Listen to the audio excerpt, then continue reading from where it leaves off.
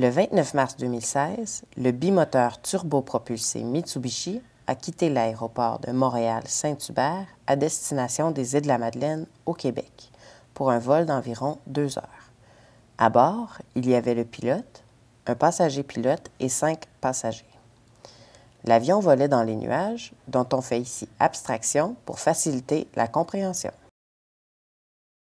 Pour l'approche à l'aéroport de destination, le pilote avait prévu au départ se servir du pilote automatique pour descendre à un taux de 1500 pieds par minute.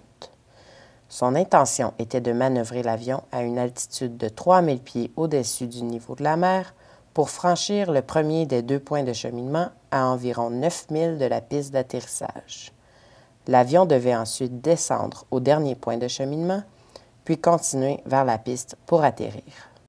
Pour réduire la consommation de carburant et le temps de vol dans les nuages, le pilote a ensuite décidé de retarder la descente. Cette décision supposait un taux de descente de 2000 pieds par minute et une approche plus abrupte et beaucoup plus rapide vers le premier point de cheminement. Mais lorsque la descente a commencé, le taux n'était que de 800 pieds par minute.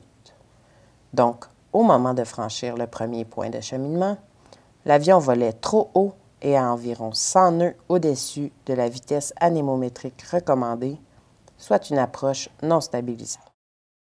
À cause de cette vitesse excessive, le pilote automatique a eu de la difficulté à saisir et à maintenir le cap, ce qui a entraîné une trajectoire de vol sinueuse. Afin de réduire davantage l'altitude et la vitesse anémométrique, le pilote a mis les leviers de commande de puissance en position de ralenti, ce qui a réduit la puissance moteur. Malgré cela, l'avion volait toujours trop haut et trop vite lorsqu'il franchit le dernier point de cheminement. Moins d'une minute plus tard, la vitesse anémométrique avait diminué au point où l'on pouvait sortir les volets et abaisser le train d'atterrissage. Avec moins de 2000 à parcourir à environ 500 pieds au-dessus du sol, le pilote a débrayé le pilote automatique.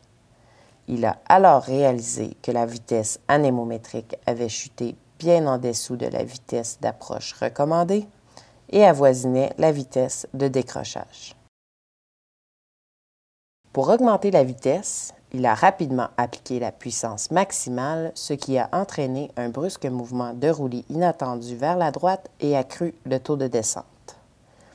Malgré les efforts du pilote pour rétablir la situation, l'avion volait trop bas pour permettre une reprise avant de percuter le relief.